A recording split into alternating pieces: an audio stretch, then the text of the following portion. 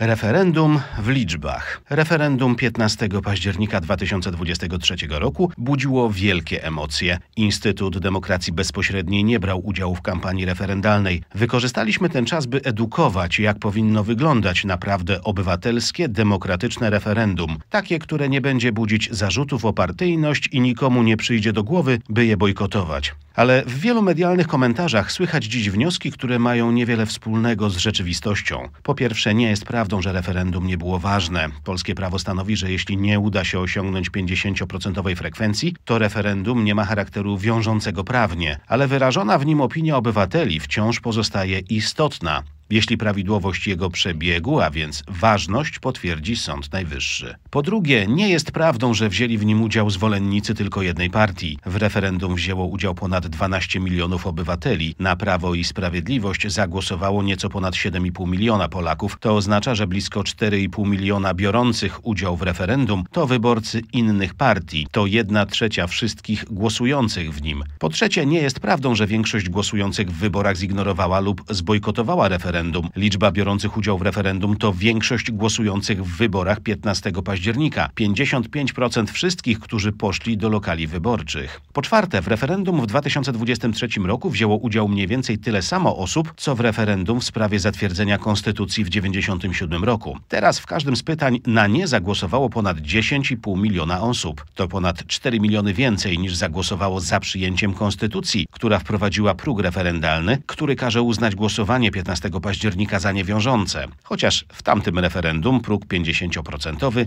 nie został osiągnięty. Chcesz wiedzieć więcej? Zajrzyj na www lub bezpośrednio.pl. Subskrybuj nasz kanał i poszukaj informacji o warsztatach i spotkaniach Instytutu Demokracji Bezpośredniej w Twojej okolicy.